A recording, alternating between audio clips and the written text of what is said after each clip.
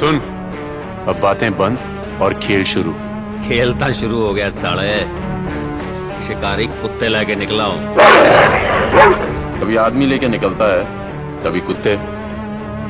अकेले निकला कर मर्द होने का एहसास हो जाएगा। शाम तक रुक जा। पता चल जाना मर्द कौन है। ठीक है।